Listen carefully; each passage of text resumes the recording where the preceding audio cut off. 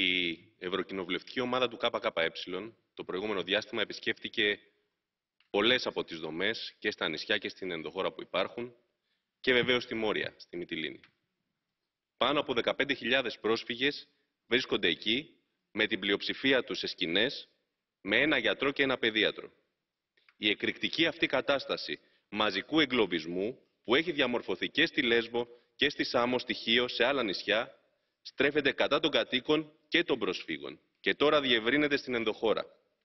Η κατάσταση όμως αυτή είναι ακριβώς αποτέλεσμα της ίδιας αντιλαϊκής πολιτικής, της απαράδεκτης Συμφωνίας Ευρωπαϊκής Ένωσης Τουρκίας, του κανονισμού του Δουβλίνου, που εφάρμοσε και η προηγούμενη κυβέρνηση.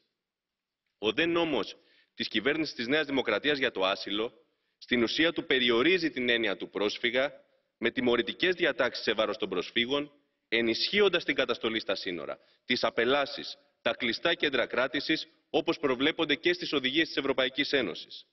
Εδώ και τώρα πρέπει να εξασφαλιστούν αξιοπρεπείς συνθήκες φιλοξενίας, ιδίως για το χειμώνα, και με ειδική μέρημνα για τους ασυνόδευτους ανηλίκους, να πάρθουν άμεσα μέτρα για τη μεταφορά τους στις χώρες πραγματικού προορισμού τους.